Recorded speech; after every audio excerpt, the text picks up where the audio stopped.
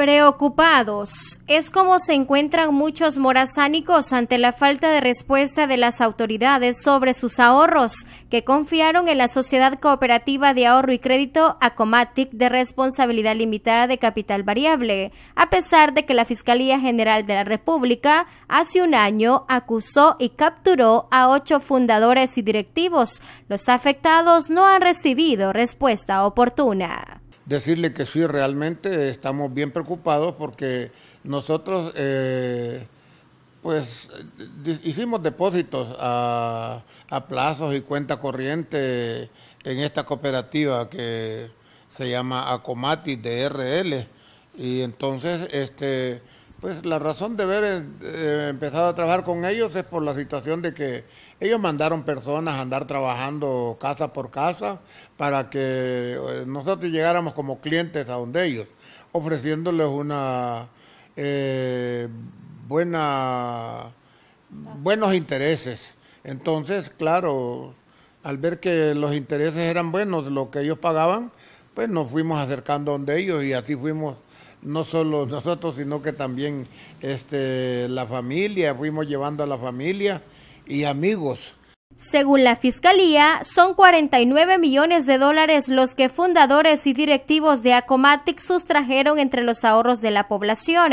en San Francisco Gotera son muchos los empresarios y comerciantes que desde hace un año están a la espera de que las autoridades les den una respuesta favorable y recibir sus ahorros, puesto que se tiene conocimiento que los clientes de otras financieras ya los están recibiendo. Hay muchas personas afectadas, no solo de la ciudad, sino que también de los alrededores, de los cantones, caseríos y Ahora pues nosotros tenemos más de un año de que pusimos la demanda en la fiscalía cuando ya vimos que la situación no estaba bien. Entonces sí, nos tomaron la, denuncia y todo, pero hasta esta fecha no hemos tenido ninguna respuesta de parte ni de la fiscalía ni de ninguna otra autoridad.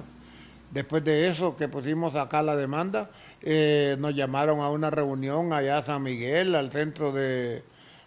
municipal que tienen allá habíamos de toda la zona y no menos de unas dos mil personas que nos reunimos allí. Vinieron de San Salvador, de la Fiscalía, vinieron de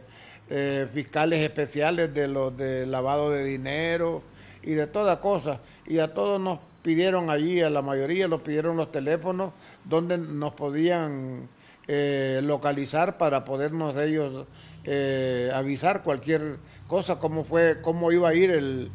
el caso, pues, pero hasta esta fecha no hemos recibido ninguna